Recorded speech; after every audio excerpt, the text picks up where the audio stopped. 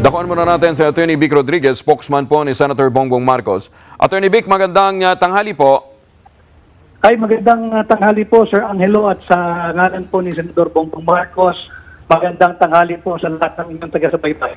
Aha. Okay, ah nag-file po ng motion for reconsideration ang kampo po ni Vice President Lenny Robredo. Ah, ang sinasabi ho ninyo, dilatory tactic lamang po ito. Ah, tama po yun. Ah, wala ho kaming makitang ah, sihan bakit sila magpa-file pa ng motion for reconsideration. Ah, Sir Angelo, ano, very clear yung naging desisyon ng tribunal. Sabi ng tribunal, it is beyond dispute. Eh, Meaning walang kaduda-duda, meron silang jurisdiction dinggin, tanggapin dinggin, at ipagpatuloy ang pagdidinig doon sa election protest na inihain ni Senador Bongbong Marcos. Aha. So, sa palagay nyo, ma- makikita rin ho ng korte na wala ng saysay itong MR na ito?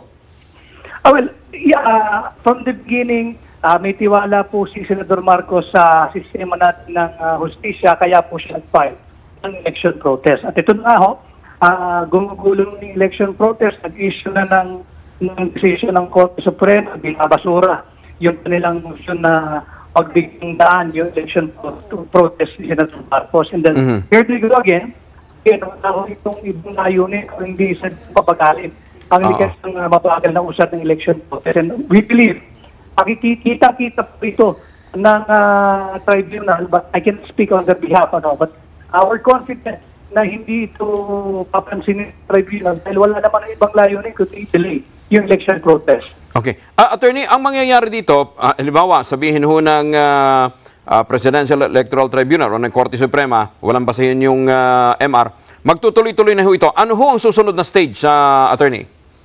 We are uh, anticipating yung uh, pag-set po ng kaso for preliminary conference. Okay. Yung preliminary conference po, eh, doon yung simplification of issues, kakausapin po yung uh, pro at Senator Bongbong Marcos, at yung protest, uh, anong maaari natin gawin, Oo. para lalong pabilisin yung takbo ng uh, election protest. And at the same time, ito po importante Sir Abdo, uh, during the, the, the preliminary conference, ari na po magda kung ilang revision committees ang uh, itatag ng Suprema para ho for the judicial revision and recount of the ballots.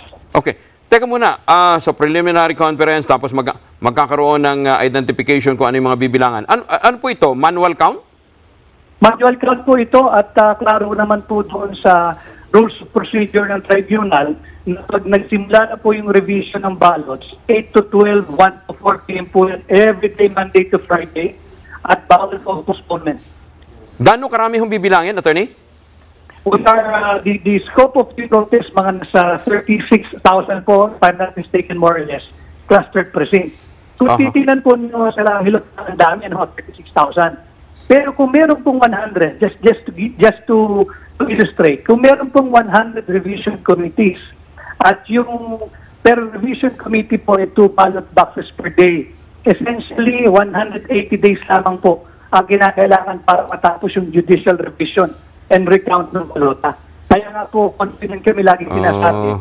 Kaya kung kami ang tatanungin ninyo, uh, Oo. we're looking at the timeline of one year to one and a half year. Tapos po yan, mapapatunayan po ni Senador Bongbong Marcos na dinaya siya ng huling halalan. Teka muna, ang magbabayad po nito, ang kampo po ni ah, Senator Bongbong. Opo, yung mga doon po sa sa number of precincts, yung cluster precincts na nasakop ng ating mga election protest, eh si Senador Bongbong Marcos so, ang uh, nakakagtang ng bayad noon. Aha. Doon naman ho sa counter-protest ng mga presintong subject ng counter-protest ni Robredo, siya ho ang magbabayad. Kung gastos dito, ah, Mhm. essentially ang tribune ang, ang, ang bayad. Okay. Attorney Vic, maraming salamat. Ah, hindi lang ho talaga ganun kagandahan yung linya, but ah, we'll be in touch again. Maraming salamat po. Marami po salamat at mabuhay Apo, magandang tanghali. Si Attorney Vic Rodriguez, ang ah, spokesman po at abogado ni Senator Bongbong Marcos.